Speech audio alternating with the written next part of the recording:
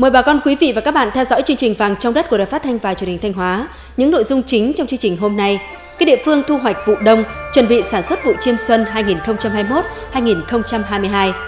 Mục nhà nông cần biết sẽ là những lưu ý cơ bản về gieo mạ khay. Trước hết mời bà con quý vị và các bạn theo dõi phần điểm tin về nông nghiệp nông thôn.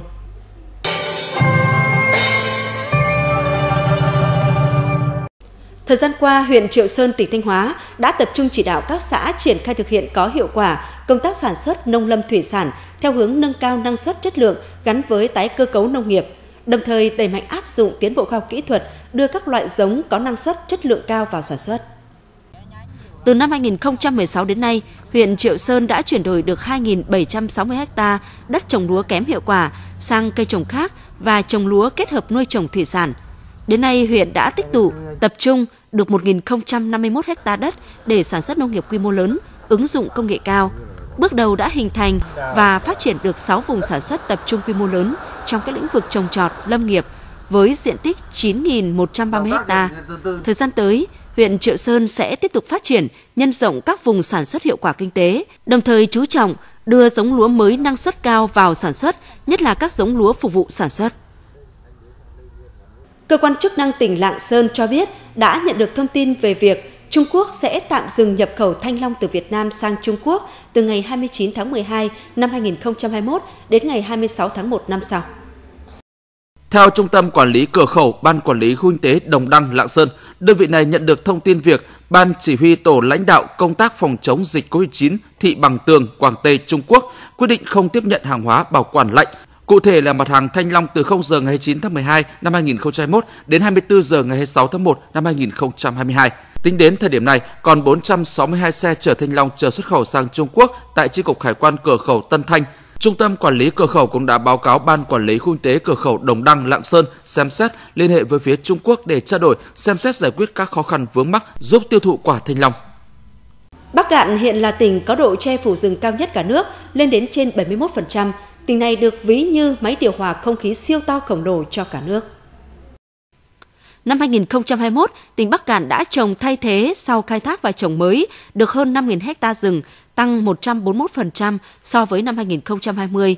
Để hỗ trợ người dân tập trung trồng rừng và vươn lên từ kinh tế rừng, tỉnh Bắc Cạn đã có chính sách khuyến khích các hợp tác xã, doanh nghiệp tham gia trồng rừng và chế biến gỗ. Trong giai đoạn 2016-2020, tỉnh đã định hướng đầu tư phát triển các ngành công nghiệp có lợi thế như chế biến nông lâm sản gắn với vùng nguyên liệu. Hiện nay tỉnh Bắc Cạn cũng đã thu hút được nhiều dự án chế biến nông lâm sản có quy mô để góp phần thúc đẩy tiêu thụ lâm sản cho nông dân. Qua đó, góp phần tạo điều kiện cho người dân có vốn quay trở lại đầu tư trồng rừng, chăm sóc rừng, nâng cao độ che phủ. Những khó khăn do ảnh hưởng của dịch COVID-19 từng dẫn tới lo ngại xuất khẩu thủy sản của Việt Nam sẽ không đạt kế hoạch. Vì vậy, việc ngành thủy sản đạt xuất khẩu gần 9 tỷ đô la Mỹ trong năm 2021 cho thấy sự nỗ lực cố gắng không ngừng của toàn ngành. Theo đại diện Tổng thư ký Hiệp hội chế biến và xuất khẩu thủy sản Việt Nam VASEP, thủy sản Việt Nam xuất khẩu đạt gần 9 tỷ đô la Mỹ trong năm nay. Trước hết là do nghị quyết 128 của chính phủ với quyết sách chống dịch thích ứng linh hoạt đã mang đến luồng sinh khí mới giúp cho sản xuất xuất khẩu thủy sản nhanh chóng hồi phục. Bên cạnh đó là sự đồng hành chỉ đạo sát sao kịp thời của các bộ ngành liên quan, nhất là Bộ Nông nghiệp và Phát triển nông thôn đã giúp cho nhiều doanh nghiệp thủy sản vẫn duy trì được hoạt động sản xuất kinh doanh trong thời gian giãn cách xã hội. Bản thân các doanh nghiệp thủy sản cũng đã rất nỗ lực, linh hoạt tìm mọi biện pháp để dự trữ nguyên liệu đảm bảo duy trì việc chế biến thành phẩm, khắc phục những khó khăn rất lớn về thiếu tàu, thiếu container, cước vận chuyển tăng cao.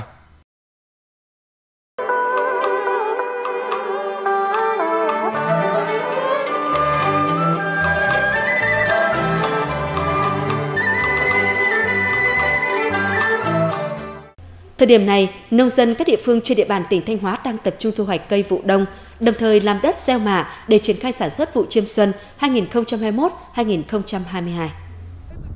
Hoàng Hóa là một trong những địa phương triển khai kế hoạch sản xuất vụ chiêm xuân 2021-2022 sớm nhất tỉnh Thanh Hóa.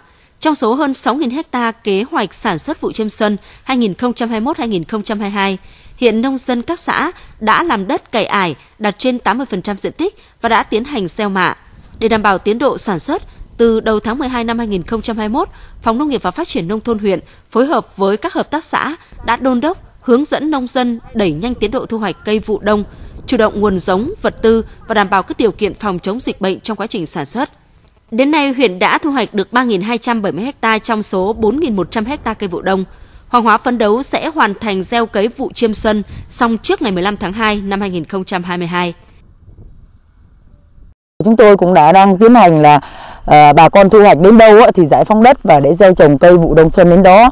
À, với cái diện tích mà lúa của vụ chiêm xuân 2021-22 thì hiện nay là bà con đang tập trung à, gieo cái trà mạ xuân muộn. À, dự kiến thì à, với cái lịch thời vụ thì à, ủy ban nhân dân ban chỉ đạo sản xuất rồi hợp tác xã sẽ à, động viên tuyên truyền bà con là à, gieo cấy từ à, xong ngày 25 25 đến 28 à, Tết nhâm dần. Thống kê của Sở Nông nghiệp và Phát triển Nông thôn Thanh Hóa cho biết, hiện toàn tỉnh đã thu hoạch được gần 22.000 ha trong số 45.000 ha cây vụ đông. Các địa phương cũng chủ động các điều kiện để bước vào sản xuất vụ chiêm xuân. Dự kiến vụ chiêm xuân 2021-2022, toàn tỉnh sẽ giao cấy hơn 115.000 ha lúa. Theo Trung tâm Khí tượng Thủy văn Quốc gia, vụ chiêm xuân năm nay thời tiết sẽ lạnh hơn – Bên cạnh đó, lập xuân vào ngày 4 tháng 2 năm 2022 nên các địa phương cần bố trí lịch thời vụ, cơ cấu giống hợp lý để tránh thời điểm cấy lúa rét đậm rét hại. À, chúng tôi là đang ờ, vào ờ, vụ thu hoạch về hoa màu. Năm nay thì ờ, thời tiết rất chi là thuận lợi để cho cây uh, rau là nó phát triển rất chi là mạnh và ổn định không phải uh, dùng các cái thuốc bảo vệ thực vật. Bà quân đang đẩy mạnh đến tiến độ về ờ, làm đất khâu làm đất và chuẩn bị uh, uh, ra giống tiêu mạ. Thì ban huyện Đồng Hóa đã tập trung chỉ đạo các xã thị trấn uh, cái thứ nhất là đẩy nhanh cái tiến độ giải phóng đất và tiến hành uh, diệt chuột để chuẩn bị cho sản xuất vụ chiêm xuân. Đối với cái, các cái sản phẩm các cái rau màu thì ban à, nhân dân huyện đã chỉ đạo các cái hợp tác xã là đẩy mạnh cái việc liên kết tiêu thụ các cái sản phẩm các các cái rau màu cho bà con nông dân đảm bảo các cái rau màu khi thu hoạch à, tránh cái việc mà không tiêu thụ được ảnh hưởng đến cái à, giá trị cũng như là à, năng suất sản lượng của các cái cây trồng. Tính đến thời điểm này, toàn tỉnh đã làm đất được khoảng 70.000 hecta. Một số huyện đã hoàn thành khâu gieo mạ, tranh thủ cày ải trên những chân đất không sản xuất vụ đông để cải thiện kết cấu đất và hạn chế sâu bệnh. Các địa phương hiện cũng đang tích cực kiểm tra việc tích nước tại hệ thống hồ chứa, khơi thông kênh mương để đảm bảo đủ nước sản xuất trong cả vụ chiêm xuân 2021-2022.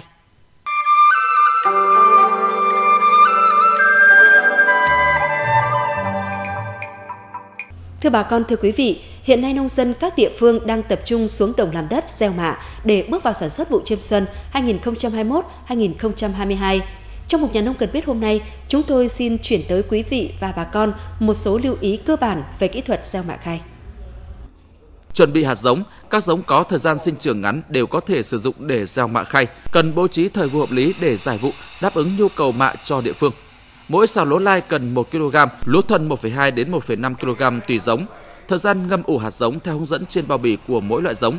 Vụ xuân nhiệt độ thấp, do vậy cần phải kích nhiệt cho hạt trước khi ủ bằng cách đun nước nóng sát tay, đổ ra chậu, lăn đảo hạt giống cho đều rồi đem ủ. Có thể ủ ở đống rơm ra ẩm hoặc ủ dưới hố trong vườn hay trong thùng xốp giữ nhiệt khoảng từ 20 đến 24 giờ. Riêng đối với mạ gieo để cấy máy, yêu cầu mộng mạ nứt nanh gai dứa là vừa. Nếu ủ nhiều, dễ và mầm dài không gieo được dày, khi cấy bằng máy sẽ không đảm bảo mật độ. Kỹ thuật gieo và chăm sóc mạ Giá thể để ra mạ khay gồm đất bột mùn cưa hoặc dơm dạ đã xử lý hoai mục và phân bón. Cho lượng giá thể đã chuẩn bị sẵn vào khay gạt phẳng với độ dày từ 1,5 đến 2 cm. Xếp các khay thành hàng trên mặt sân, tưới thật đẫm nước rồi tiến hành gieo hạt. Chú ý gieo dày, gieo đi gieo lại cho đều và gieo cả các mép khay. Gieo xong tưới nước lại một lần nữa rồi phủ kín hạt bằng lớp đất bột. Gieo xong có thể trồng các khay lên nhau và phủ ni lông giữ ấm để giúp mạ nhanh mọc. Khi mạ mũi trông thì giải các khay ra nền phẳng và chăm sóc như mạ nền cứng thông thường. Khi mạ đạt tiêu chuẩn từ 2,5 đến 3,5 lá, chiều cao cây từ 10 đến 20 cm, cứng cây, đanh rảnh, sạch sâu bệnh có thể đem cấy. Bản tin vàng trong đất của chúng tôi hôm nay xin được kết thúc tại đây. Xin kính chào và gặp lại.